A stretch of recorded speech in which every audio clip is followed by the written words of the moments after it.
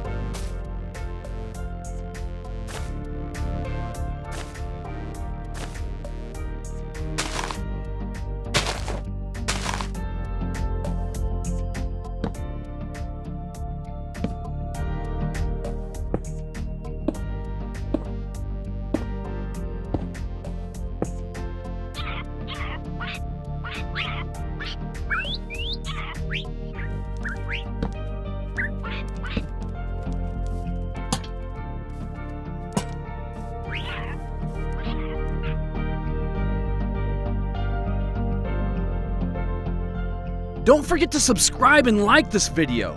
Check out this one.